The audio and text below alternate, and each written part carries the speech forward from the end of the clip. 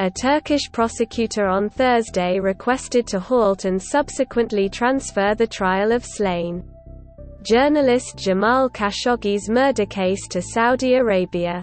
The prosecutor, during a court hearing in Istanbul, argued that case has been dragging, as court orders against the accused cannot be executed since they're foreign nationals. Khashoggi was killed inside Saudi consulate in Istanbul in 2018. Subscribe to the channel for more news.